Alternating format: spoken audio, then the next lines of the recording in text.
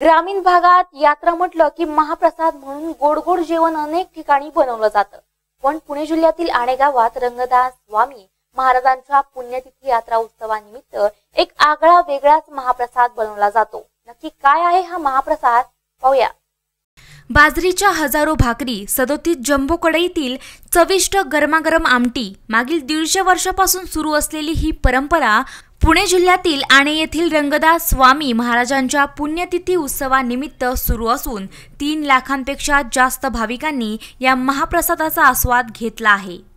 आनेगाव परिसरातील सर्व वाड्या वस्त्यांवरून घराघरातून भाकरी जमा केल्या जातात. तर मंदिर परिसरातच आमटी तयार केली जाते. यासाठी पंधरा प्रकारच्या वस्तू आणि तब्बल तीन लाखांचे मसाले आणि डाळी वापरल्या जातात.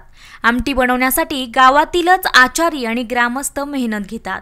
थंडी सुरू झाल्याने ही गरमागरम आमटी यात्रेसाठी आलेल्या पाहुण्यांसाठी खरंच मनाला जेवणाचा एक वेगळाच आनंद देऊन जाते. तुम्ही एकदा तरी या यात्रेला भेट देऊन महाप्रसादाची चव चाखाच. पौष प्रतिपदेला स्वामींचा पुण्यतिथी सोहळा साजरा केला जातो.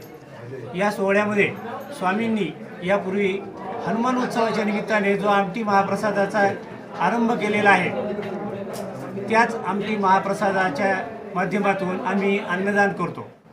साधारणपणे दरवर्षी चार ते साडेचार लोक लाख रुपये खर्चाचं आमटीचं नियोजन असतं. दरवर्षी वेगवेगळे आमटी दाते स्वेच्छेने आमटी दान देतात आणि त्यांच्या खर्चातून आम्ही दरवर्षी आमटीचा दान करतो. यावर्षीपासून सा चार चार लोकांचं आम्ही एकत्रीकरण केलेलं आहे. आणि असं करू नये. साडेचार लाखापर्यंत खर्च येतो. हो, किती कढाया बनवता? सदोतीसकडे आहे यावर्षी बनवणार आणि त्यात किती भाविक? त्याच्यामध्ये? सरासरी एक लाख भाविक यावर्षी जेवणार आहे